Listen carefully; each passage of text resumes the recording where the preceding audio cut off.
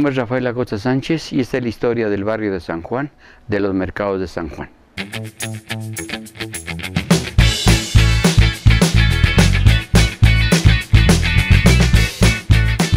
Existió en esta área un, pueblo que se llamó Moyotla o Moyotlán, que fue el inicio de, los mercados de San Juan.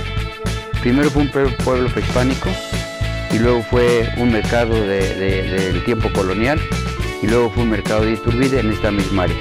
En esta área salieron cuatro mercados de San Juan, que fueron el Palacio de las Flores, el San Juan Especialidades, el San Juan Curiosidades y el San Juan Arcos de Belén. Es una historia muy bonita porque dejó como legado las iglesias que estamos alrededor de Santa María de Guadalupe, comúnmente llamada Buen Tono, y la iglesia de San José, que fue una de las escuelas de ese tiempo para enseñar oficios a los hijos de los caciques de aquel tiempo. Yo tengo 74 años de edad y tengo 68 de estar en esta área. Eh, la artesanía, de, la artesanía pues, es, grande, el arte popular mexicano es grande, es uno de, yo creo que es uno de los países que tiene más arte popular en cuanto a productos artesanales y que en un momento dado también está siendo olvidado por las autoridades que, tenemos en, este, en este momento. El arte popular es parte del arte, es parte de la historia de nuestro país. En este mercado tenemos un 99% de artesanía mexicana, mexicana, lo que no tienen en otras plazas comerciales. Yo llego aquí a la edad de 6 años y empiezo a ser un niño mandadero. Mi abuelita vivía aquí en la calle de Pescaditos en base a eso, pues yo venía aquí muy chiquito y me dejaba mi mamá en el, parque. Y así hicimos la primera, este, el primer trabajo de mandadero. Luego ya conseguimos un, trabajo, crecimos hasta 1953 que quitaron el mercado de, San Juan, que era un mercado que hizo de Porfirio Díaz en 1905, y nos mandaron Arcos de Belén y Doctor Valenzuela.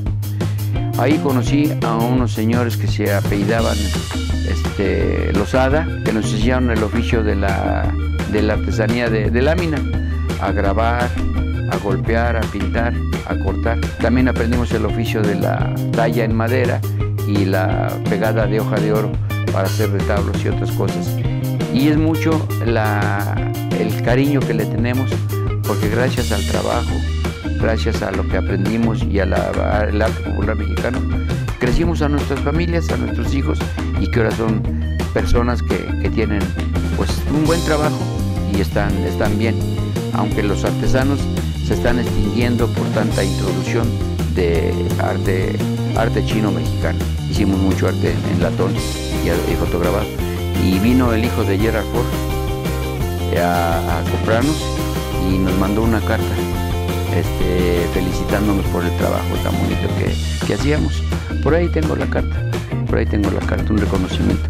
Es fue una de las, las mayores satisfacciones que he tenido yo en la vida. Además, cuando era yo niño, o niño, vimos al señor presidente Luis Cortines venir al mercado viejo de San Juan. A mí me da mucha satisfacción que la gente me diga y venga y me diga, ay señor Rafa, qué bonito está su, trabajo. Que el público este, te reconozca, te reconozca que tienes bonita mercancía.